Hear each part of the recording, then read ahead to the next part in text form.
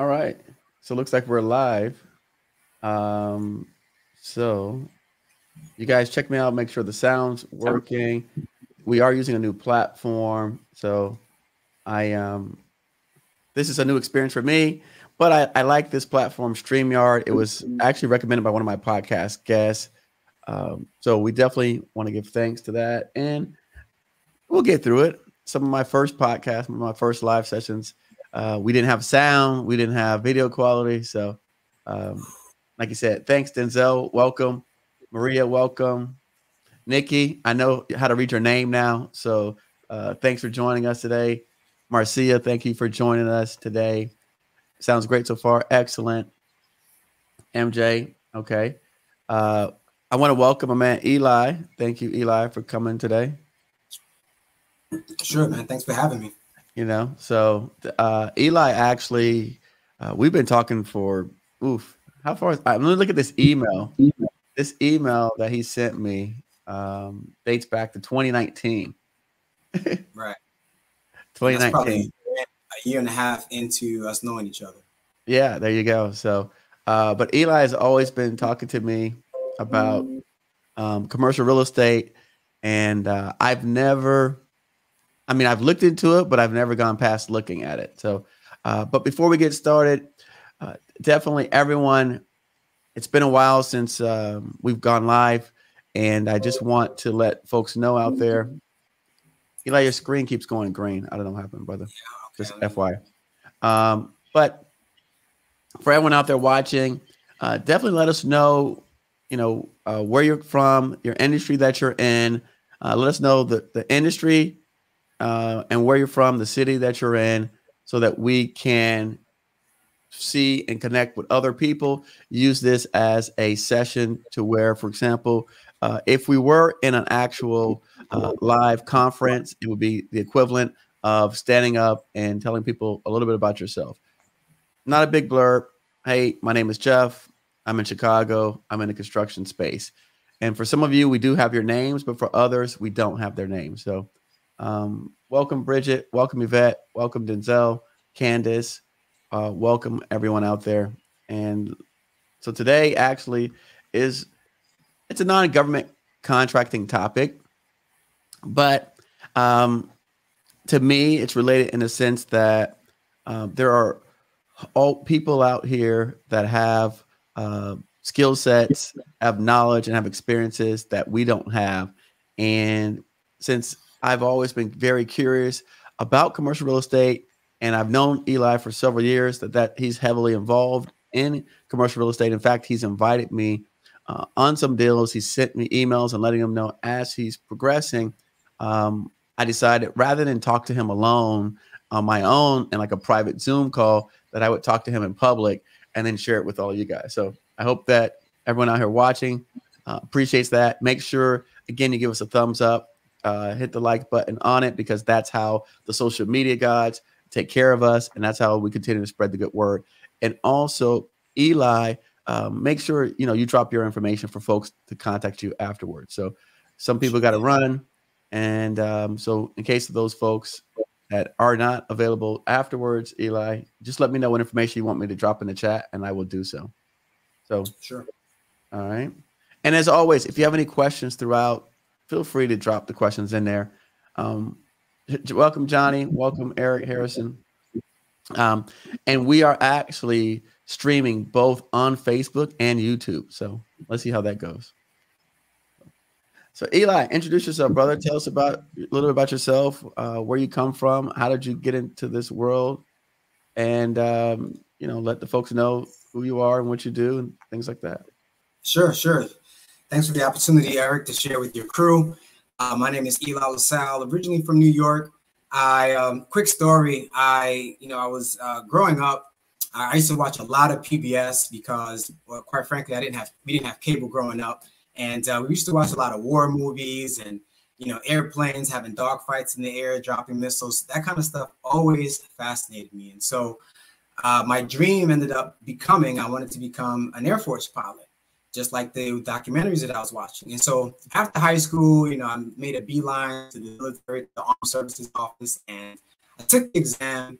And uh, once I, you know I, I, finished the exam, the recruiters they came over to me and they were saying, "Man, you, you did really well.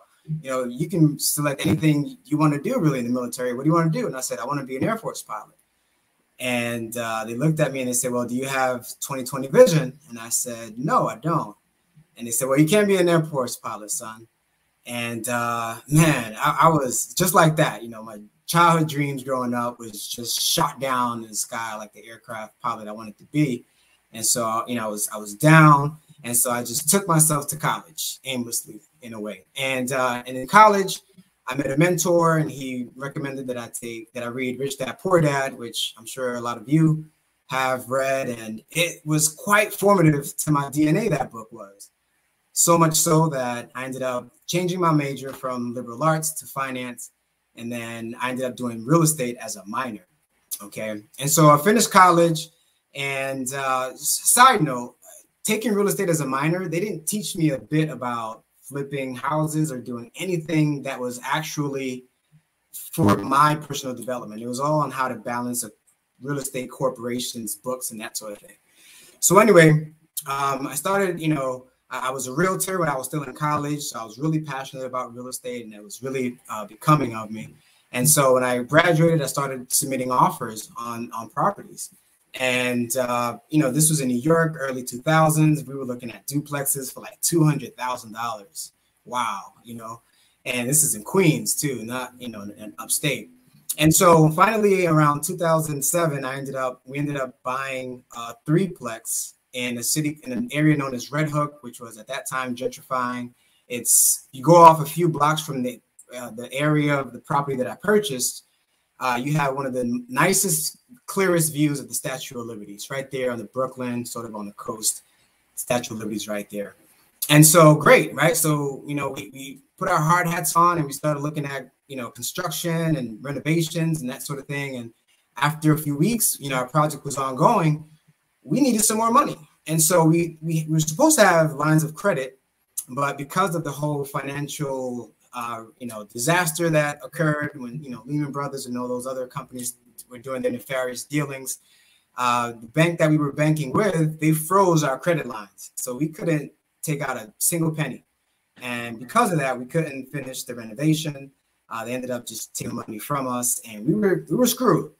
And so a few years later, I ended up uh, filing for bankruptcy because that mortgage, you know, was on my credit, and it was a tough time for me. You know, I was definitely down in the dumps, and that lasted a while. And then finally, I just said, you know what? Um, I was at that time I, I, moved to Florida, and I just said, let me just pick myself up and, and do something about this. And I decided to learn the game the real way versus just buying a property and sort of hoping that it would appreciate over the course of time. And so I joined what's known as a real estate investment association if anyone is interested in in getting into the real estate business, I would strongly recommend. Every city has a, at least a chapter or two, and it was a great place to meet incredible networking. It was um, amazing knowledge, workshops, seminars on a regular basis, and I took advantage of all of that. I just became sort of a you know a, uh, a gym rat, if you will, when it came to the real estate business. Um, and shortly thereafter, I met a partner from the Real Estate Investment Association. Uh, we pulled together $195,000. We ended up buying a 16 unit. it's is crazy prices still. And, um, you know, that one still in my portfolio, still going well.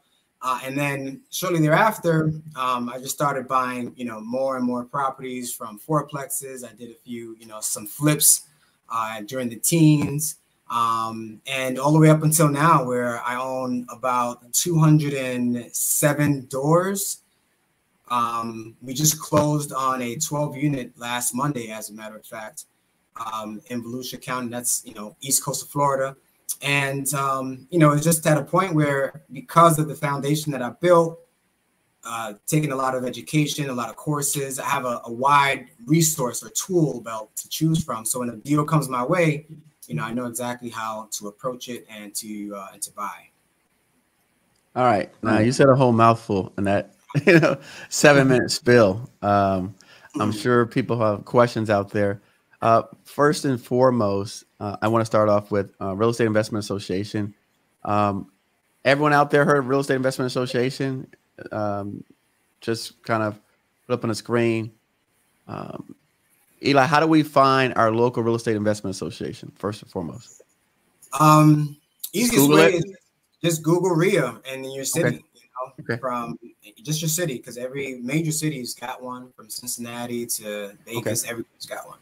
Okay, all right. So now, um, what's what I like about your story is that you said that you went bankrupt, you had filed bankruptcy, right? Right. And so, you know, again, it's interesting because so many people think that they're, you know, because of a felony, because of bankruptcy, because of their past history, right? That's an indication of their future success or lack thereof. And so, how is it that, um, even with a bankruptcy, that you were able to, to buy property?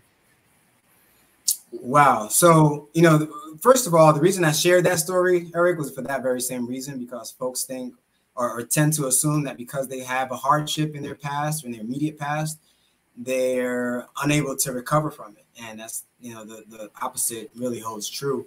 So at that time, when I filed for the bankruptcy, I couldn't get a traditional loan. So I missed out on a ton of deals that if I would have gotten a regular traditional loan from a regular bank, I would have been able to finesse. So without that, that's when you know the Real Estate Investment Association taught me how to buy properties creatively. That's what they call it.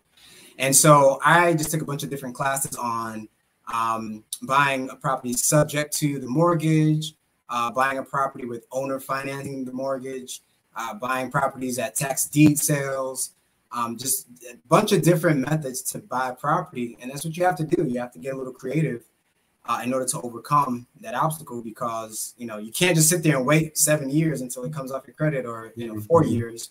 That's I mean by that time you'd have missed the entire uh, the discounts. Well, it's um, I, I, love that because again, you didn't give up, you didn't throw in the towel, you didn't quit. Um, so the join the Real Estate Investment Association is is that the place where um, they gave you information on courses that you could take? Is that where you learn about the courses that you could take? Correct, correct. Now, yeah, and nowadays, I mean, and, and there, you know, maybe three, four hour seminars they would have over the weekend okay. on Saturdays, you know, sometimes you would do trips to certain places to maybe the tax deed office to look at the records, things of that nature. Right. So it's real hands-on, and for me, that's how I mean I learned really well in the experiential way. Now, uh, and I love that. How, how, much just if you remember? I know it's it's probably was ten years ago or seven years ago, but um, how long ago was this that you start when the Real Estate Investment Corporation when you moved to Florida? How long ago was that? Um, that was about 2011. Okay. All right. So 10 years ago. All right. mm-hmm. So at that time, what what did the courses cost? Like what were the price ranges for the courses? So membership in mine was 150 and that covered $150. $150, correct. Okay. For that was for the entire year. For a whole year. The entire year.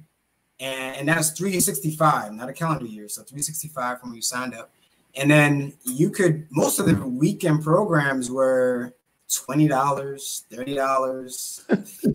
fifty it was a heck of a course, but it wasn't much. And honestly, every dollar was worth it ten times. Fifty dollars. Right. so what was their incentive if they're only charging fifty dollars for a course? I think it was they, they had several people sign up and okay. usually the people who who carried it out were just enthusiasts who were that was like a little side hustle for them anyway. So they did well in volume. So, and it's usually the similar pricing throughout the country, with the exceptions of, of course, you know, New York, maybe Cali, those places might be more expensive. You know, um, I'm typing something in the chat. Um, now, something that you didn't mention um, that I have the privilege of knowing. Um, deal you bought your first okay you said you put the 195000 together and you went after this other deal but right. you bought a deal on your own a creative financing deal first that, that oh, you yeah. flipped and sold the money tell us about that deal man so this was yeah this was after the uh, that first 16 unit that i purchased um, i ended up going taking the coaching class matter of fact uh, the guy charged us $5000 to learn how to buy property with seller financing at 0% interest. Okay, and that's a really important part because that's really the key part of the deal. Uh, he used to always say, um, you know, if I sold you, if I sold you a house for a million dollars, would you be able to afford it? Right? That's kind of like his his uh, beginning statement at the beginning of the class, and everyone's like, oh, probably not.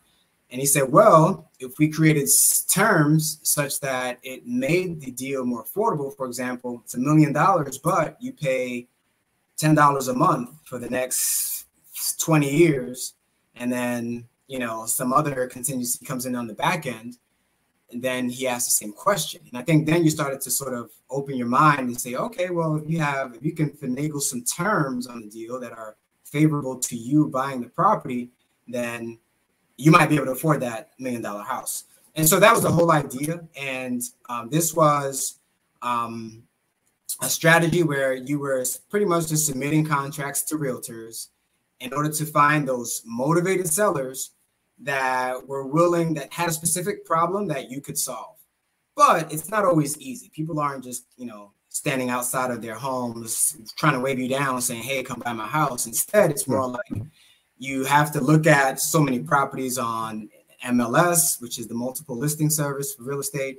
Um, submitting offers to realtors. I was I submitted over two almost 250 offers, and uh, I still have the receipts in my folders if you know you want to see them.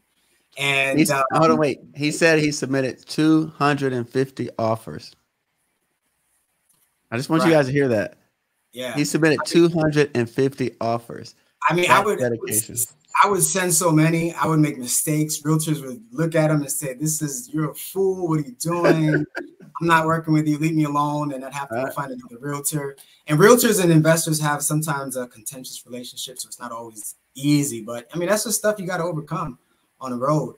And uh, finally, I was online on Realtor.com and I saw a fourplex that I liked guy was selling it for 75,000 and I was like, sweet. So, you know, I submitted an offer and it wasn't traditional financing. It was, uh, I would give him a 10% down payment. Um, I would give him payments every month for 10 years. And then at the end of the 10th year, it would be a balloon payment. And so he countered back. His only catching point was he wanted $20,000. That was his only thing. He agreed to everything else. He didn't want, he didn't charge any interest on this loan. It was 10 years. My monthly payment was $350. And it's fourplex. It's a fourplex. And uh, you know, we closed, we signed off on the dotted line, and that was sort of my crown jewel right there. Eli, you gotta go slow, man. You're going too fast. Say it wait. So you found a guy had a fourplex for sale for 75,000. Right. And you offered to for him to finance it for you. Correct. He was the bank, and he was he was going to be the bank to finance the deal that he was selling to you. Correct. And then you were going to give him ten percent down. Correct. He negotiated twenty grand down. right, but originally you offered him ten percent down. Correct. Ten percent down. Right. Okay, which is seventy five hundred. Yeah. And then you were going to pay some kind of interest, whatever. No, no, no, no. I never offered interest. Never. Oh, you never offered interest. That's what the course taught. You pay five grand to learn. Don't offer interest ever. Oh, really? Okay, so you don't offer interest. No, you just don't. Now, if they come back and they ask for it, then you you know you give it to them. Okay, so you said, all right, I'm gonna give you ten percent down. Correct. You finance it, and I'll pay you this much a month. Correct. And then I'll have a balloon payment in five years. In ten years. Oh, 10 years. Okay, even better. So it's more manageable. Sure. And he said, okay, fine, just give me twenty thousand. Correct. Correct. And okay. then the payment was 400 bucks. I did the inspection. The roof was a little shaky. So I said, you know, instead of 400 a month, I'll give you 350 a month. And he said, right. Okay. He just wanted 20 grand. He was in a jam of some sort and he needed to get out. So I was there to help. Oh man. I, I um, no, and again, I love that story. Um, you know, I love that. And because again, I even, you know, my ignorant self thought you charge, you offered him some interest. Right. You. I mean, if his his motivation level de- de- determined that he he didn't even. I don't even know if he acknowledged it or if he cared about it at that time. He just wanted right. it. But usually, if it's a more advanced seller, they'll ask for it, and so you oblige at that time. You start off low, of course. Meet him somewhere in the middle. Wow. Okay. But, so now, so that's that was your crown jewel deal, which I love your crown jewel, Joe. I, mean, for that, I think everyone should give us a, a thumbs up on that. that should hit the like button right there. All right, so now you that's the crown jewel deal. All right, so you're in this class. You take these courses, these fifty dollar courses, hundred dollar courses. Um, you went onto this one that was a little bit more expensive, it was five thousand, but right. you did a you bought a four unit building for twenty grand. That um, you said still in your portfolio. What is that building worth today? Um, it's worth about 270, 280. Okay. So you paid 75,000 and it's worth about 275. So you got 200,000 equity. Correct. I did. I mean, I did a good amount of work. Maybe you know another 30, 40 grand worth of work. Sure. All right. So years, but, 150, 175,000. Correct. Equity. Um, it's probably what do you owe on it? Um, I actually refinanced it. I refinanced oh, it and used some other deals. Correct. So I can use that money for other deals. All right. So Sweet. Yeah, yeah, yeah. And, and in between, I mean, I did courses on, for example, tax deed investing or tax lien investing. I think that's a great option um, for people who honestly, when the, when the county takes over the taxes, it pretty much eliminates all the other liens on the property. Oh man. Um, so at, when you get the if you buy the property at a tax liens at a tax deed sale, then you pretty much own it free and clear, usually for a discounted price. And um, I examined that for a while. I, I, didn't like the fact that you had to buy the buy the property sight unseen, which meant you have to buy without ever touring the house inside. Sure.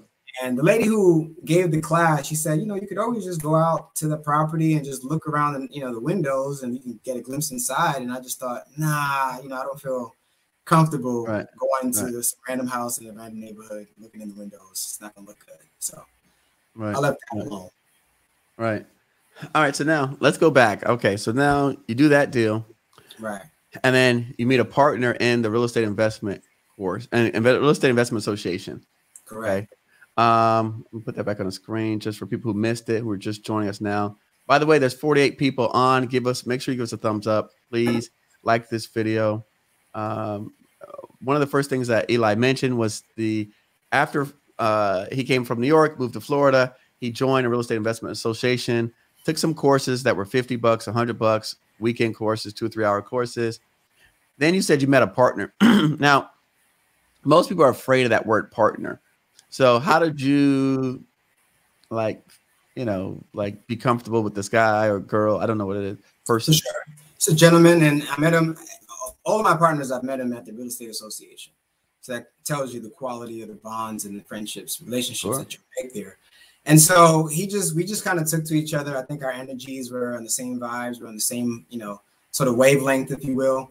And usually when you're at these seminars, I mean, you're at them for quite some time. You usually see the same people, and you end up, you know, building relationships with people uh, from them. And so um, he and I just, you know, over the years got cool. I think he always saw me as a viable partner for something. He ended up um, inviting me to his wedding, you know, wow. so invited me to his home for barbecues. I mean, we became, you know, somewhat close. Sure. And so finally, um, uh, matter of fact, we purchased, um, I found a deal from a wholesaler. It was a 38 unit deal up in South Georgia. And, you know, we were a little, we weren't too sure if wholesalers were the route to go. If they were, um, some of them have some unscrupulous ways that give all investors a bad um, image. But you know, we went through with it, and um, we ended up uh, having like at that time I was uh, an employee. I had a job, and I made fairly decent money. And we ended up just you know pooling our money together, he and I, and we bought the 38 unit deal together. Um, that one was quite the it was it was quite the renovation. It was 38 units at the time. I think 14 units were occupied. Okay. I think there was, you know, there was drug activity in there. Not everybody wanted to pay rent. Um, and we hired a management company, and they really helped us. And we had a, man- a construction crew come in. We did all, we did all of the um, the apartments. We renovated all the apartments.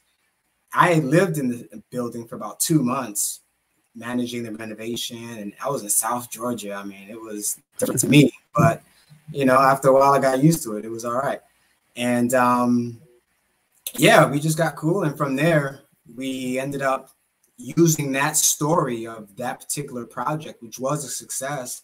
We went back to the RIA and we presented at what's called the deal of the month. Okay. And at deal of the month, you know, there's a big audience. People are really enamored by what you're doing. And there was a couple of other people who reached out to us and said, Hey, we like what you guys are doing. We want to, you know, in the way we're loaded and we want to make sure we want to invest with you guys in the future.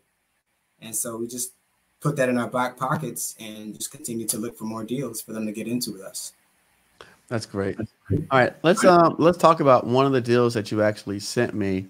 Um, now I know it's been a few years, so um, let's um you, let me put this question on the screen first before we get into the deal. M Sway says, "Can we use a 501 program for commercial deals?" 504 program. Can you can you expand on that some? I'm not I'm not familiar with the 504. Okay. Expand on the question. All right. So let's let's talk about okay, let's put this up on the screen. And this is uh something that you sent me. Correct. This deal that you were looking at back in 2019 uh, was a $9 million deal. Now, did you end up buying this one? Yes, this is the okay. one that we ended up buying. Okay, so this one you bought, and then uh, this Georgetown one you did not buy, correct? Correct, and it was actually from the same seller, so we were trying to buy both. Okay. However, due to the at the price point, it was one was eight and a half million, and the other one was four point nine, and we just couldn't get to buy or raise the initial investment for both properties. So we let the Georgetown go, which is the smaller of the two. I think it was okay. 70 units, and okay the uh, Sable Court is 129 units in Tallahassee, and we ended up pulling the trigger on this one. All right, so let's let's talk about this. Um, and it's funny, I I don't actually have I have the email, but I don't know how to share it yet. But Eli actually sent me an email um, with this deal that he sent out. In fact, hold on, I do have it. Um, you know, I'm going to pull up the email just so I can give some context for folks out there. Give me a second. Let me pull up this email.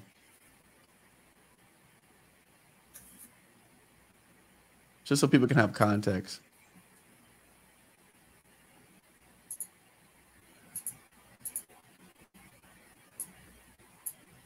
Okay.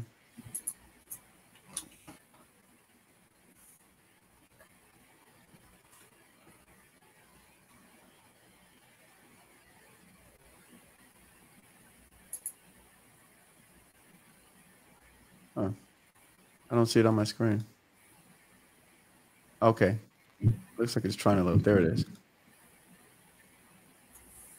All right. There it is. It was a little slow. All right. So actually, so Eli sent me this email um, back in 2019. And on here, he mentioned this Georgetown apartment deal, 60 unit complex, Tallahassee, two miles from Florida State University, half mile from Whole Foods. Asking price is five million. Our strike price is 4.3 million. Range we're submitting uh, a lot of interest today. Goals to raise 1.1 million to cover down payment, closing costs. It's where you come in. He's attached an Excel um, 2018, 2019 income statement, a pro forma, and some links with pictures. And then he mentioned a second deal. Okay. And there it is. So that's the email that he sent out. And so we'll show you the info sheets that he sent with that. So why don't you talk to us about this email and how that works, Eli, while I pull up the info sheets? Sure, sure. So um, the goal was to raise money for the down payment. And, you know, we, those few gentlemen that we met at the Real Estate Investment Association, they came in, they were pretty liquid, but, you know, the goal at that point was 1.1 for the Georgetown and it was 2.9 for the, the, the other property. And so we realized that with the money, the capital that they had and what we had, we just didn't we, we didn't we didn't come. We were about fifty percent there, and we just needed to raise another, you know, million dollars or so, and just we we knew we couldn't raise enough to buy both. So we let the Georgetown go, and we decided to set our focus on uh, the Sable Courts. And that one, again, we raised, I would say, most of the money from the Real Estate Investment Association. However, it wasn't, uh, you know, sort of a windfall of cash is coming or capital coming our way. It was it was a lot of work. It was it was stressful uh, because you do put a large deposit down in order to um, be able to go into contract for this property, and we went into contract, and we were still raising money throughout the contract. And there's a after 30 days, your deposit becomes non-refundable. You, and you know we would lose a large, you know, significant amount of money if we weren't able to call together those funds. And so uh, finally, we ended up pulling together monies. You know, I have some of my um, friends or associates that I know that are involved with it. Proud, I'm really proud about that. And um, yeah, finally, we just pulled the trigger and it closed in late 2019 after a lot of due diligence. It's 129 units. A lot can go wrong during that time, and you know we were able to finesse the, um, uh, the inspections, the appraisals, and all of that. So when you, whenever you buy a property, you have to have a succinct exit strategy. And our exit strategy with this one really is just to enjoy some of the um, the appreciation that we'll experience here. I mean, 3% of appreciation on a $9 million asset is a lot higher than 3% appreciation on a $250,000 asset. Um, we are steadily repositioning the tenant base, which means you know we're doing renovations. We're trying to get um, somewhat higher end tenants in there, so we can just continue to, to to for it to perform and be profitable. And so, um, yeah, this is still, you know, one in the portfolio. Uh, you have a video there too. It kind of gives a little bit of scale. Are you able to share the video? Um, it's it's going, it's lagging when I open up new windows. So let's just talk about this, this, and okay. then as people ask questions, I'll pull the video up on the next. For sure. And so that what you have there on the screen, that's the the model unit we ended up creating. We just kind of gave it the uh, the white cabinets, the you know white or the gray paint on the wall, the gray floors, kind of the modern trendy look everyone goes for nowadays. And we have we're at a point where with the construction crew, they can do this renovation in their sleep.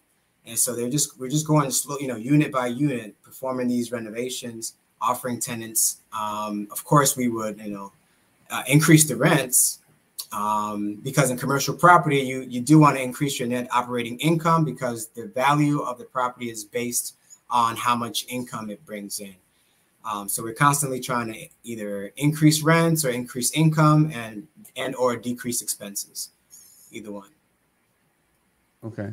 But uh, yeah, it's a tough one. It's not one that's easy to manage. This is, I mean, we bought it in late 2019, and then the next year we had the pandemic, and so luckily we're able to, you know, to handle all of our um, our debt obligations.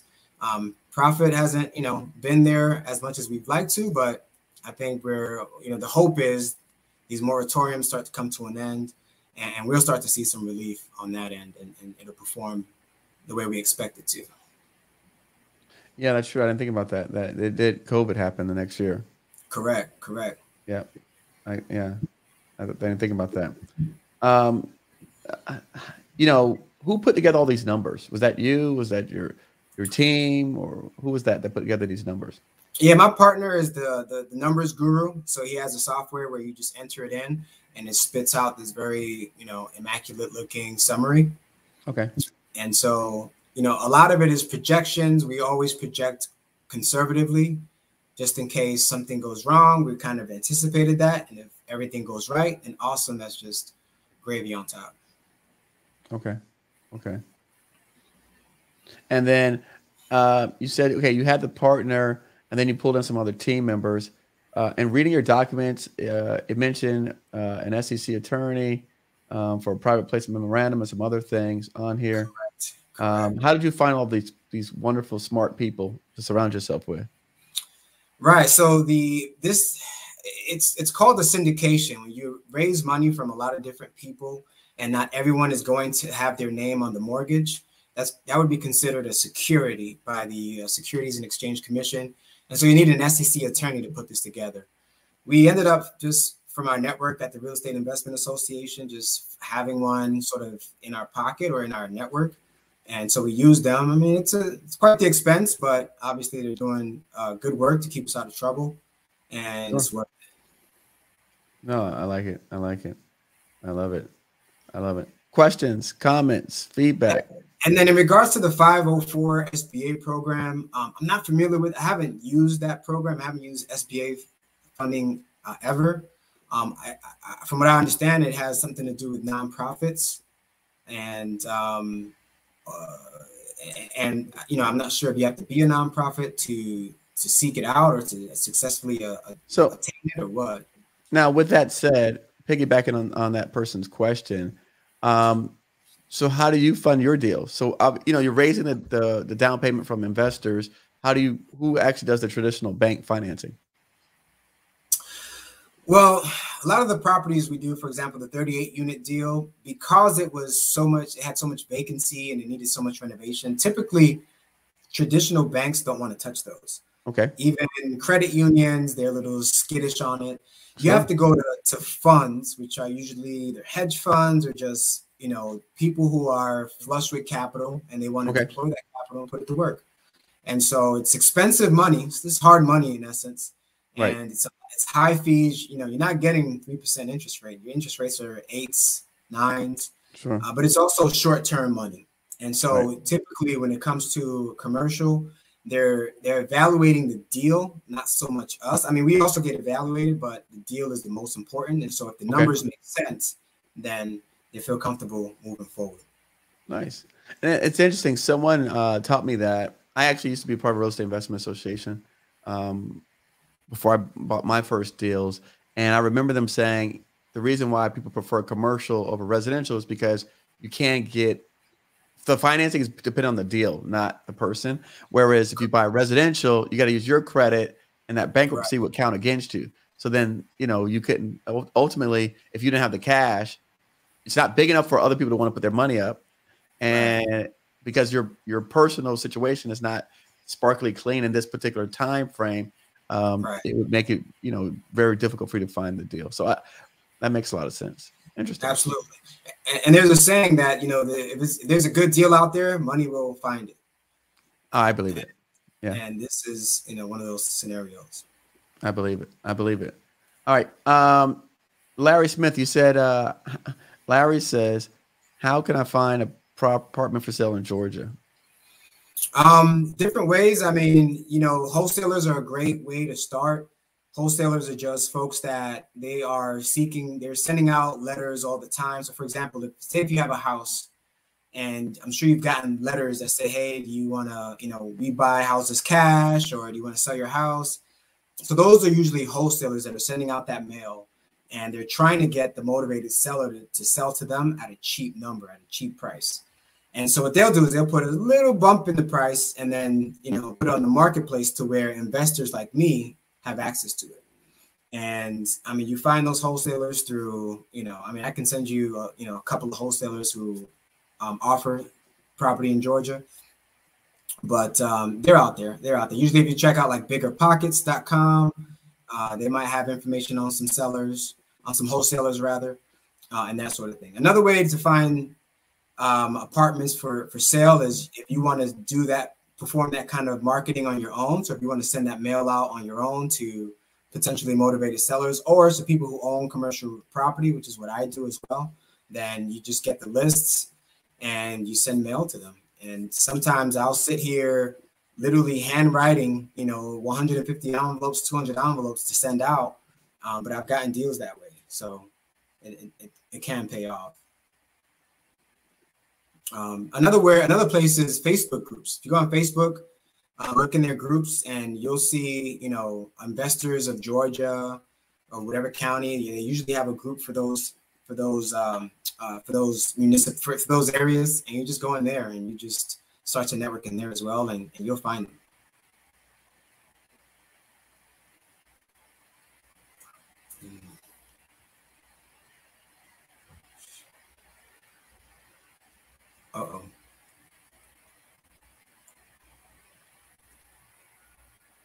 Hey, Eric, you there? You left us. Or did I leave you? I'm here. You there? Oh. Yeah, I am. All right. Yeah, something happened. It froze my on my end. All right. No, no, I love it. That's um that's good stuff. So you so you bought the four unit. Then what was the next deal that you did? Uh, I bought the 16, I bought the four, and then yep. I flipped a bunch of properties from 14 to 17. Okay. And then, you know, I accumulated some some good cash reserves from those flips. Um, with those flips, though, one thing I, I, warn you about that they don't tell you in those TV shows is Uncle Sam, he has his hand out. And you got to make sure you hold back some of that profit you make to pay Uncle Sam because he's not your uncle for, for real, for real. no, that's true. That's you know, I remember a buddy of mine in college. He did a uh, he did some stock deals, and he made like 150,000. He's like, "Yeah, I got money," and yo, Uncle Sam killed him. Like, yeah, it, it was like when he went back and put it back in the market, and then he didn't have that money anymore. He still owed taxes on the profit he made from the deal that he sold. Wow. Yeah. So he was he became, he was in trouble actually afterwards. Yeah, maybe a payment plan would help him, but it is it's it gets real when that you know five you know four or five digit um, tax bill comes in. You yeah. can't afford it, so you can't afford. It. Yeah, that's not that's right. not fun. That's not right. fun. Um, not fun. and then 2018, I purchased the uh, the 38 unit. Okay. Um, then we purchased the 129 unit. Okay. And uh, I've done a couple wholesale deals in between then, just doing, you know, just again trying to um, build up my cash reserves. And we just purchased a 12 unit uh, in Volusia County in Florida last week. We just closed on it. Okay. All right. Someone asked, how does a person get into uh, commercial real estate? This is what Eli suggested. Uh, look That's for your local. That's a good place to start for sure. That's a good place to start. Then you have, I mean, YouTube nowadays is a lot, you know, it's it's a great resource. Type that into YouTube. There's a few great coaches out there. One that I follow is Peter Harris. Um, he is a wealth of knowledge. He actually wrote the book uh, How to Buy Real Estate for Dummies, How to Invest in Real Estate for Dummies. And he's written books for Donald Trump and the whole nine yards. So he's a great resource. There's all, but there's other people out there um, who who buy commercial real estate. And we, and we, when we talk about commercial real estate, it's not just apartment buildings. Um, we're also talking about retail spaces. We're talking about malls or storage space, storage facilities. We're talking uh, industrial, which right now is a really hot sector because of all the warehousing, all the Amazon warehouses, and other similar companies who need that type of space and who are leasing it out. Um, we're talking about land, you know, just about anything that's not four units of residential and under is considered commercial. Um. So I'd say you know definitely just just immerse yourself in that knowledge and and and and yeah, and in there because honestly, just and I know Eric, you talk about this too, in in, in, in the GovCon community that um, you know it takes the same amount of work to uh, execute on a $50 million deal than it does on a $5 million deal. Sure, sure, sure. And we can extrapolate that to real estate as well. I mean, the same amount, I mean, it might be a, a few more moving parts in commercial real estate, but right. at the, the day, the same, fa- the same um, sort of factors come into play. It's, you know, it's right. a contract, right. it's, it's um, the title, it's getting a loan, right. it's due diligence, it's closing, sure. not in that order, but you get what I'm saying. Yeah, no, it makes a lot of sense. It makes a lot of sense. Um, one of the things that you and I, we, when we were preparing, um, we had that conversation the other day. We actually talked about Airbnb, and I told you I have an Airbnb. I've got two of them, and then you said your friend is doing Airbnb successfully uh, in Florida as well. Right, right, and and so I'm in Orlando, and you figure in Orlando, this is the home of you know Disney and hotels are everywhere, and so are Airbnbs. It's a competitive space, but uh, the way he's approached it and the way he's winning is he's going on the high end route. And oftentimes, you know, folks who can afford three, four hundred dollar price tag a night, usually, um, you know, they'll they'll stay some time and they'll they'll be repeat customers, and there is a market for it. And so he has his Airbnb rented. Oh, his average is seventy percent of the month. His his units are rented. Um, his expense ratio is about 30%. So 30% of what he brings in, he's keeping for himself. And he's doing really well. And one thing that he always tells me is that, you know, he's like, despite all of these hotels and all these Airbnbs as competitors, you know, there's enough business out here. There's enough, there's enough visitors out here for us all to eat, for us all to have business, and for us all yeah, to succeed. Yeah. And uh, that's that's that, that that's going to be another, another space of mine that I go into fairly soon as well. Right? I know yeah, you're trying to do more. No, I'm not in the high end, but I can tell you that um, you know my two Airbnbs, I have like 90% occupancy, maybe 95, which means I probably should raise the price. you know, right? So I got to play with the numbers. So I just did that. You know, I'm playing with the price. But again, you know, when you're first trying it out and then you're experienced, like, okay, let me see how this thing works. Um, and right. it's it's it's it's been amazing. I mean, I just had someone move in um, literally yesterday, and they're staying for three months. Wow. So um, I get people that, and then this is in the middle of like this is at in the middle of Florida. Like there's small town, but people come for projects. People come that are working on the construction sites for months at a time.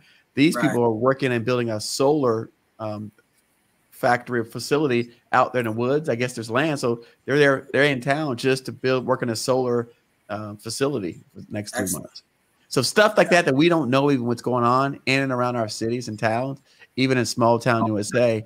There's just there's like you said, we we don't there's not enough hotel. Even where places like okay Orlando, you say, well, there's so many hotels, but there's so many people. And then in, in a place like where I was at, that small town, there's not enough hotels.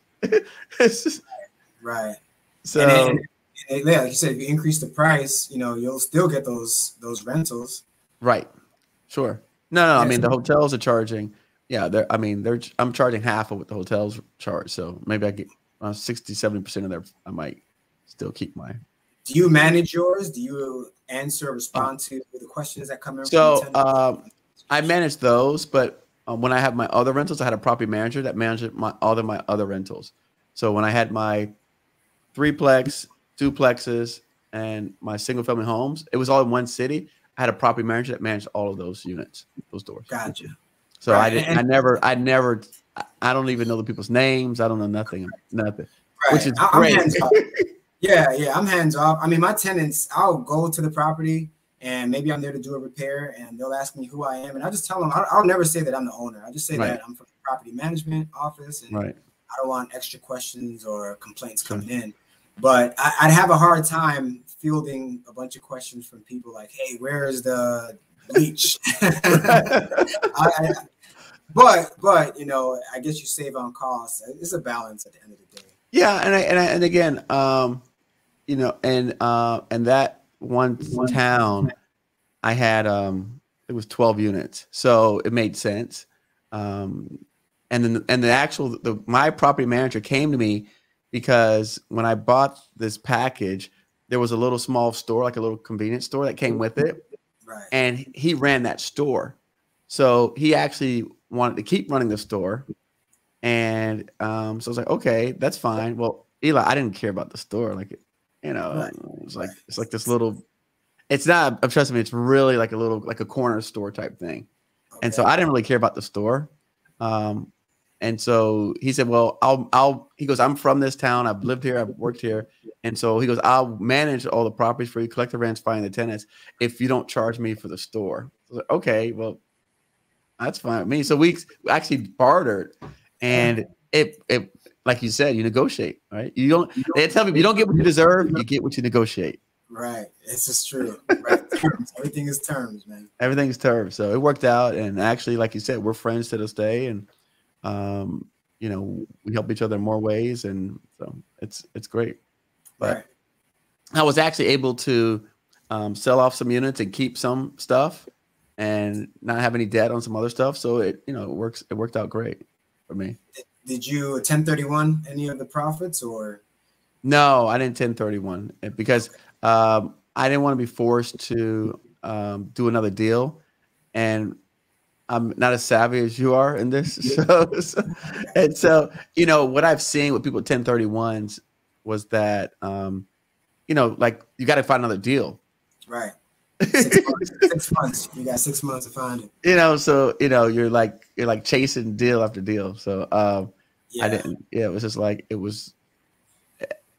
I would really decided to. I want to focus more on government contracting. Is the I truth is I just like I want to double down on this and not have my brain in so many places and so scattered. Yeah. Trying to That's trying to and that was for me. And so for me, um, you know, where I'm headed with this is much greater than even having tw- you know 12 unit portfolios. It just it wasn't it, it it didn't make any sense for me. Yeah, I, I, think you know having your your base is government contracting where you're bringing in that revenue, and sure. then parking your money in real estate where you have right. money work harder for you than right. anywhere else.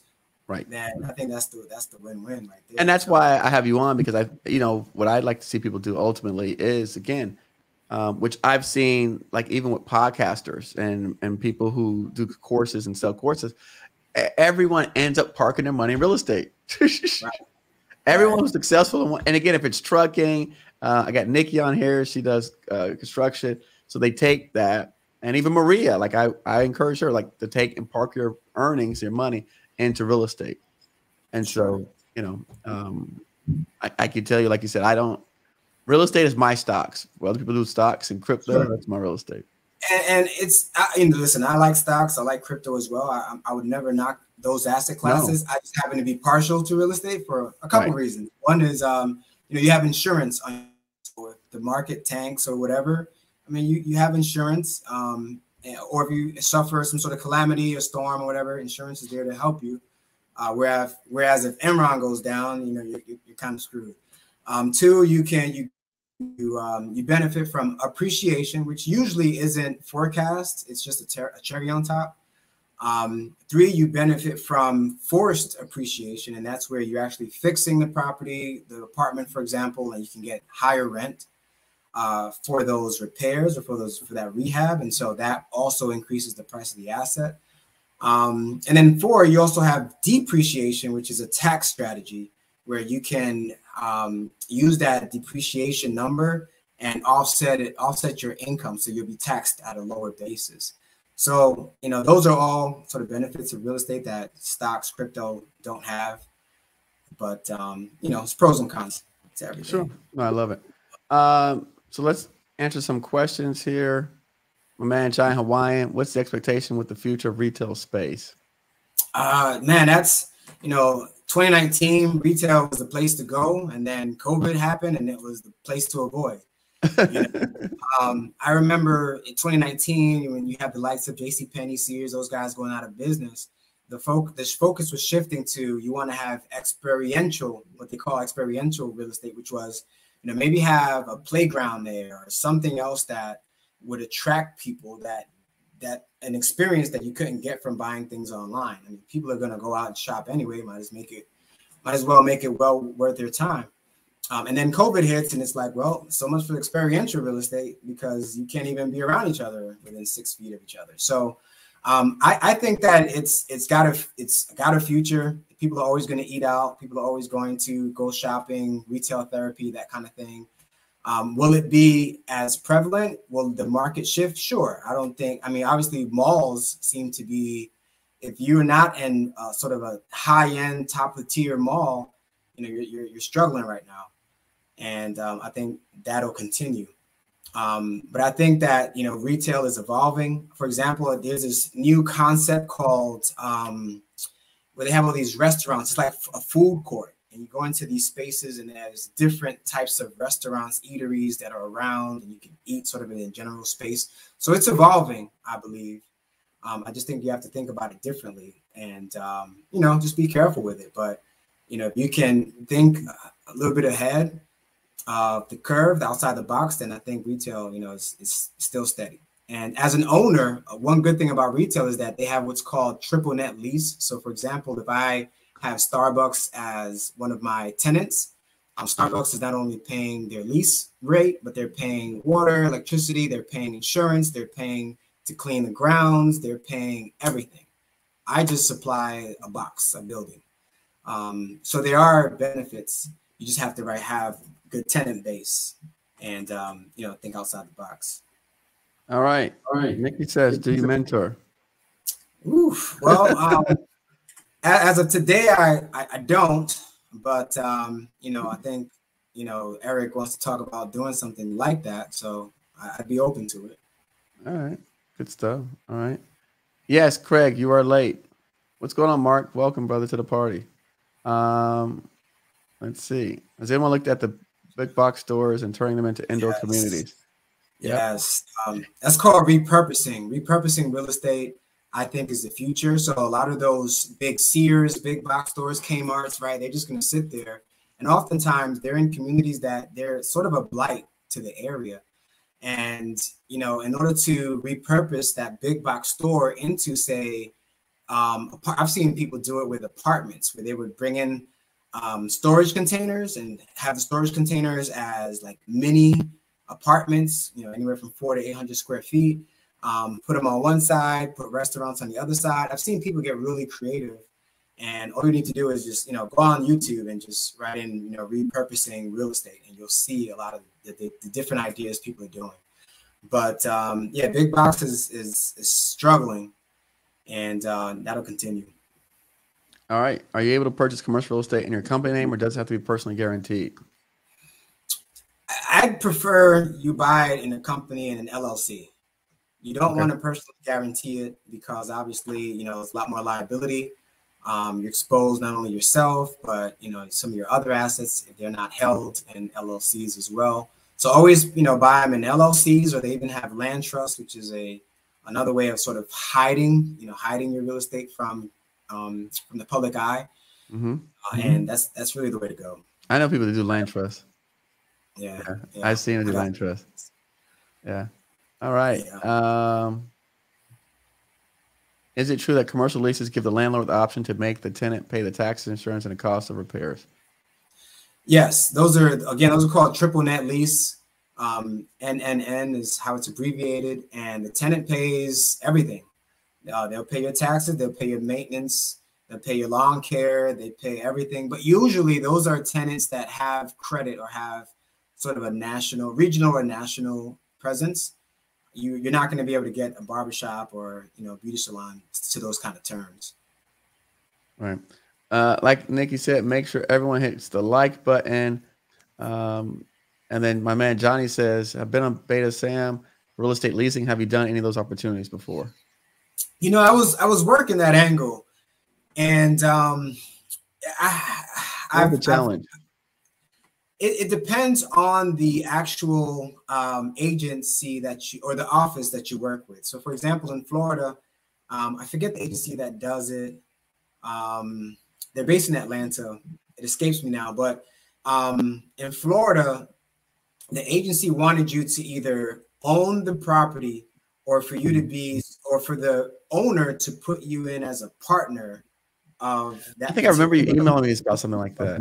JV, yeah, and so that made it difficult for us because the the owner of the property they didn't want to add right. us on as a partner, you know, for their uh, for their establishment, and I understood why. Um, and that was difficult. However, I worked with the USDA one time in I want to say Quincy, Florida, which is uh, west of Tallahassee.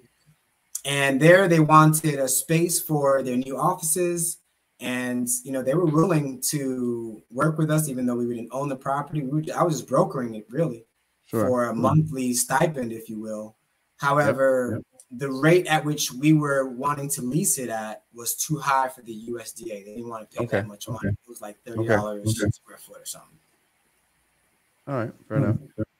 enough um man says can we get more information about land trust Sure. Land trust is um, is really a way to shield your assets from the public eye. So, for example, if you do a search in the county records uh, for, and you're trying to find information on me, let's say you slip and fall, and you go to an attorney, right? And the attorney says, "Okay, we're to get this owner because he owes you money. The insurance company only wants to pay so much, and so you decide to come after me because I'm the owner of the LLC." Um, and then you see that I own other assets, or you're trying to find other assets that I own, you could just do a search for my name or anything of that nature. But if my assets are in a land trust, it's really difficult for you to sort of pierce that land trust in order to get into it to find out that I own the land trust.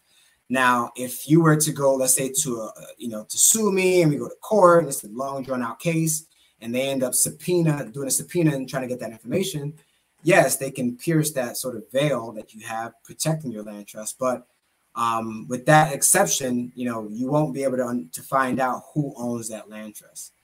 Um, as a matter of fact, I would say go into the county records and the property appraiser's office and, and look through some of those land trusts, and you just won't you won't find it. Gotcha. Gotcha. gotcha. Um, Eli, are you okay with me dropping your email in here? Uh, sure, absolutely. Okay. I mean, I, I kind of put you on the spot, right? like, no, a little bit too late, right? It's like I put you on the spot. All right, what else? What else? Uh, hold on. Go back. Yes. Is it true that commercial real estate is valued by the profitability and term of the leases? So every time you responsibly raise the rents, you increase property value. Correct, correct. And so in every property that we go to, um, we, we prefer to buy what's known as value add deals. And value adds just means that there's some um, room for you to increase rents. So, for example, uh, the one that we purchased in uh, in Florida last week, the rents there are about 600 to 625 for one bedrooms, one baths. Okay. This is actually a nice area. I would call it, you know, on the scale of, you know, A to to, to C or to D, A being the nicest. Um, it would be like a B, like a B minus. Is you know older community, the infrastructure is a little more mature, older, you know, more mature trees and things of that nature. But those rents can go up to about a thousand dollars, maybe more depending on how nicely and how well we do those renovations. So the price that we bought it at, it was reflective of the rents that they were collecting. And so if we raise the rent from 600 to a thousand dollars, which is almost, you know, that's over 50% uh, increase. Um, then that represents a, a really nice new, like a new net operating income number that's a lot higher. That's over 50% higher than what we bought it at. And so when we go back and try and sell it or refinance it or pull some equity out, you know, we're going to see a similar increase in the value of that property. How many units? How many units was it? Uh, it's 12. 12 okay, 12 units. Okay, I got you. And now, how did you find that deal? Um, again, through a wholesaler. A wholesaler sent us a text, and we didn't we didn't think much of it. And all of a sudden, my my you know my partner sends you know he calls me. He's like, "Hey man, I think there might be some meat on this bone." And I'm like, "Sure." So we reviewed it, and I was like, I think there is some meat on this bone. I think there is a value here. And so we literally that same day they had a showing. It might have been 1 p.m. at the time um, that we reached out to the wholesaler, and the showing ended at three. And it's about an hour, 15 minutes away from me. So I hopped in my car. I drove out there. I told him, hey, look, man, we'll be, you know, 20 minutes late, but I'll be there. Sure enough, we walked through some of the apartments and I loved it. It's, it's nothing that really needs to be done except cosmetic work. Just again, you know, gray floors, gray paint. Uh, we call it gentrification gray. Um, you know, cabinet facings, you know, landscaping, maybe paint the exterior, and, and, you're good. And you can raise that rent. And you know, I, am sensitive to raising rent on on folks, but at least we're providing a value. Right. And honestly, right. We're, we're bringing it up to market value. So I'm not doing anything excessive. Now, when you do something like that, okay, and you say, hey, okay, there's something meat on the bones. Does everyone have to have money? Like, do you have to have money to get in the deal? How does that work? Wow, great question. Because I mean, I don't see no one here talk about money. Like, I can't believe you got 48 people watching this, and no one's like, look, like, do I have to bring 50 G's to the table? Do I have to bring 100 G's to the table? So, like, y'all, y'all, nobody's curious about money out there. Like, I mean, I'm just saying, I want to know about the money side. I got to write so a check. You know, like how does yeah. that work? And, and, so we haven't. You and I haven't even talked about this. So you didn't know, know. about. It. No one said anything. Um, no, no one's asked the question. I'm sitting here racking my brain, and no, right. I'm waiting. I'm waiting for someone in the audience to say, hey, "Look, how much money? How much money?" So right. you know, you got a 14 unit deal. Do I have to put up 200,000? Do I have to put up a half a million? What like what do I have to do to get in the right. you know? So typically, when we did, for example, when we did the raise for the uh, the 129 yeah. the 129 unit deal, we had a minimum of $100,000. So each. that allowed, correct, each. Okay. And that allowed for was we don't we don't want to have too many investors because it becomes it's just more challenging. Sure. Investors have personalities. I mean, there's a lot of money, so you're fielding calls and concerns and things of that nature. So you almost have to vet each other when we are in that position. We don't want someone okay. who can just be a pain and you know really really just brings down everyone's energy. Uh, so typically we do we don't always do hundred thousand dollar minimums, but because that was a large raise, yeah, was a million dollar raise. It was, it was two million dollar two million dollar raise. So oh, two million. okay. Yeah, so we had a few folks that came in. They were well funded, uh, well capitalized, and they brought in a lot more than a hundred thousand, but that was the minimum. Okay. Uh, however, for this 12 unit deal, my partner, he's you know he's can pay, he can talk paint off a wall, and he's really gifted. and um, he had an investor who was just again eager to deploy some capital, and that investor brought the entire down payment, Eric, entire thing. And in essence, my partner and I, we didn't spend anything. Now, I'm but doing. You did the due diligence. You found the deal. You put everything. Correct. My right. my partner, yeah, correct. In that regard, yes, my partner did a lot of the due diligence. He found the deal. Um, I'm going to be doing a lot of the renovation or leading the efforts, you know, sure. sort of project managing the renovation, making sure I manage the uh, property manager as well, and um, you know, making sure we're getting the top rents and things of that nature. So sure. it's a collected efforts where I'm still working, but you know, he's I'm putting in sweat equity, and that gentleman put in the equity. Equity. I can't believe y'all didn't. First of all, for the 47 people who stayed on to catch that, I'm glad you stayed on. For the people who missed it, I'm sorry you missed it. you had to run. And and I'm glad that I asked the question because no one asked that question. He did not put up any money. Right. So I'm just saying. He didn't put yeah. any money. By the way, Eli, what's interesting, we're going to talk like, you know, these people are not even on with us. I have a guy like that now that says the same thing. He'll put up the money. I just have to find a deal. So um, I've got someone like that now that I've met through the government contracting world because of me doing government contracting and he uh, working together, you know, doing business and doing, you know, we've done millions of dollars in government contracts. So we have a relationship. And so he's like, look, Eric, you know, find us a deal. I'll put up the money and we'll split up the deal and, you know, um, just put something together, put the numbers together and send it to me. So um, I've got right. someone like that now, right now. Awesome. Well, I mean, if you need some help finding a deal, let me know. I'll, I'll shoot some stuff your way and, you know, we could all partner on that. There you go. Like Johnny said, sorry, Eric, I was using your money. Yeah, I know y'all would count my money. Listen, the whole point of the discussion, right, is so that we can leverage. Uh, you know, we're leveraging uh, Eli's knowledge and his expertise.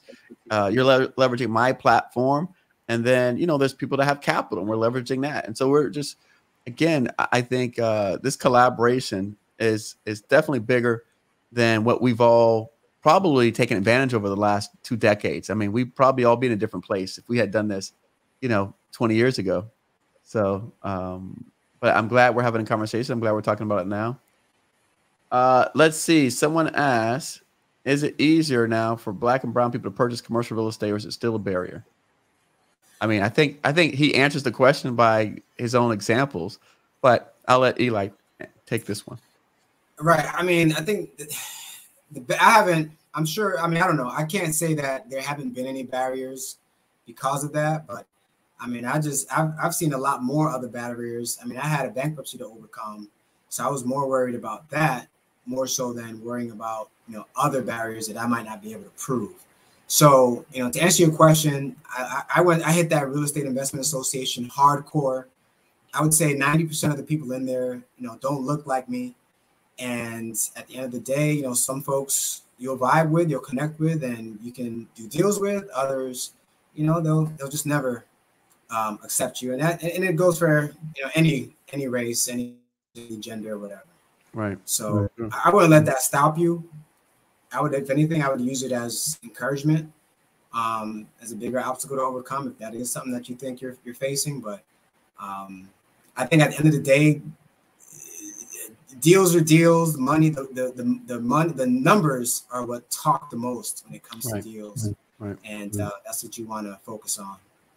And also, you don't need everyone, right? You don't, you don't need everyone to to do this. You know, um, you get your circle of people that you're working with, and uh, you know maybe some of them can have are more likable and, and more trustworthy, and, and they could lend the credibility of you and the and the deals.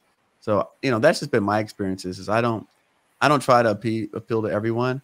Um, I always I always like to say this, and I know it's probably a bad joke, but um, in truth, uh, 70 million people voted for Donald Trump, right? And then 7 million people voted for Joe Biden. So you don't have to appeal to everyone. You just got to appeal to a group enough group of people that help you accomplish what you're trying to get accomplished. Um, someone says, "Have you ever used equity waterfall in your deals?" Um, I haven't had anyone. Um, uh, when, you, when you're saying equity waterfall, I'm thinking you're talking about like the capital stack. So um, the type of uh, avenues I've used to to to raise money for a deal or to uh, to represent my down payment. Um, I haven't. I've just used capital from other investors, and or for myself and investors, and um, and that's how we carried. We, we executed them. I didn't um, leverage another property that I owned. I've had the op- opportunity to, but I just never have. Hope that answers your question. Uh, Do you use a lot of real estate financial models when presenting the numbers to investors? Do you have to excel financial modeling skills? Yeah, Craig is an investor apparently, but uh, um, I I don't I know the the financial modeling sort of charts and software you're you're you're talking about. Really, no, because that's very technical, and if they need to see a little bit more insights, then sure, I'll show them that. But for example, if you were on earlier and, and, and uh, Eric, you saw Eric as he showed the summary of our deal. Uh, it, it, it's more informative as far as you know a lot of the sort of the vision for the property, uh, the exit strategy. We talk about the loan, the, the numbers, um, and I believe it was a spreadsheet, like a simple um, financial modeling spreadsheet that they took, kind of screenshot that, put it onto the summary, and, and we use that. Um, but it's not too you don't want to get too intense because not all the investors aren't as savvy as you might be. You know they may know you know basics and you want to keep it at their level. Sure. All right we're going to do uh two more questions and we're going to sign off and be respectful of everyone's time today. If you have not already hit the like button please hit the like button. Whether you're watching on youtube or facebook hit the like button um, please. That will help us be able to provide you with more content like this. Also Again, um, if you like this kind of content, leave us leave a comment in the show notes, um, feedback. I put uh, Eli's information in here, and whatever additional information that he provides to me, I will also make that available to everyone as well who's listening. So, two more questions. This one from One Shot says, "What if I get a transactional loan? What would that work for commercial properties?" Uh, from my understanding of a transactional loan, those are more like really short term. From what I've from when I've tried to use them, it was about maybe 48 hours, maybe a week long or something, just to buy something and then uh, maybe do a quick um, a, a, double close or something to that extent. Um, if that's what you're referring to, I I I never have tried that, so I I don't know. You know, I don't want to give you a wrong answer on that. Um, I've done I've wholesale properties where, you know, I've done um, not a double close, but I've assigned the contract, so I didn't need a loan. Um, you know, if you did a double close, you might have needed a, a transactional loan, but I've never used it for a commercial. Nice, nice. nice, Um, and then uh, since uh, I don't see more questions up there, um, do you consider yourself exceptional? Ooh, man, what a, that's loaded. I mean, look, in I my mean, mind, you know, I, listen. I mean, that's part of my, my daily affirmation. So I'm, okay. Gonna say yes on that one. All right. Um, I'm not gonna say I'm anything less. Good. No, no. I mean, again, I, I just, um, you know, I, I, for me, I think that uh, it's almost like, again, if I didn't come on and I didn't share, you know, the word and the things that I knew, you got, you know, people would not see um, me and the person like me that's doing this kind of stuff. And and I feel the same way with you and your talents and your skills, which is why I have you on here to showcase. Um, like the man said, or you know, black and brown people doing these kind of things. I feel like, you know, hell, I know someone that does it. Let me bring them on and, sh- and showcase that to folks because again when you see people that look like you sound like you talk like you doing these things you're encouraged you're motivating like okay this is a possibility and it's real sure. and, right. and, and i know it's real and i've been around you and you know we've met and it's um so i know it's real but go ahead you were going to say something yeah no i mean you know I, I, I say yes to that question, I mean, I don't mean to come off as cocky or anything like that, but oh. that's just the way that I, I, I train myself to think. But I mean, this is something that anybody can do. I mean, I was a C student in college, and you know, I've had all kind of struggles. On top of that, I got a whole list, but uh, for the sake of time, I'm not going to do that. um, but it's just persistence, persistence, resilience. You know, not taking no, getting shot down, and you know, just getting over it quick and continuing to go. That's really that's really my flow right there. And uh, I'm kind of like one of those I work hard guys. You can't outwork me kind of guys, and uh, that's how that's what's worked for me. And again, for all the people keep asking, where how do you get started? The Real Estate Investment Association is uh, where Eli first started out. Look for your local real estate investment association. They're in every city. Am I correct, Eli? Every major yep, city. Every, every, major city has one. Look for the, the Real Estate Investment Association. Uh, is a great place. He said that at the time he paid $150 a year to join annually, which is 365 calendar days, and then they offer courses that you can take ranging from 50 bucks, a couple hundred bucks, and then uh, you took one that was I think you said 5,000. Correct for a mentor, right? For a mentor, though, that was for actual mentorship. So again, but that five thousand dollar that you paid for the mentorship got you a four unit building with seller financing that has now increased over two hundred thousand dollars in value. So five thousand turns into two hundred thousand. I think it's you did pretty good. Correct. Correct. um, Facebook groups is another place to go. You can again search Facebook groups in your locality, in your you know your county, your city, and there's usually groups, and there's usually you know people local that are doing deals or, or experts that can help as well.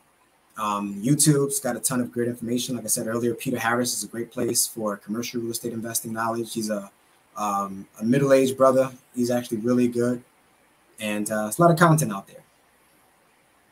Peter Harris for commercial real estate investing. All right, I'm going to leave them with that. All right, so Peter Harris for commercial real estate investing. Uh, it's another great place to go to as a resource. So again, hey, listen, thank you so much for watching, Eli. Um, don't get lost. We'll keep in contact. We're like two hours away. uh, thank you guys, my man Kwame. You know, uh, always trying to share with people the knowledge. Always trying to spread the good word out here. Uh, give people options. Let them know what's possible, right? You know, because again, you might make money over in this other space, and you say, "Look, I got a couple dollars I want to play with," and you know um, now you have a resource to turn to so hey look forward to uh, if you want to hear more topics like this let us know. Send me an email send us leave us some comments. Um, i'm definitely willing to open up to discussing other things uh, especially things that i'm interested in. So this is this is a great call. Um, great information great questions. Thank you. Thank you eli as always. Yeah. And everyone have a great night. We'll talk to you soon. Thanks guys. Thanks for the opportunity eric. Appreciate you. Always a pleasure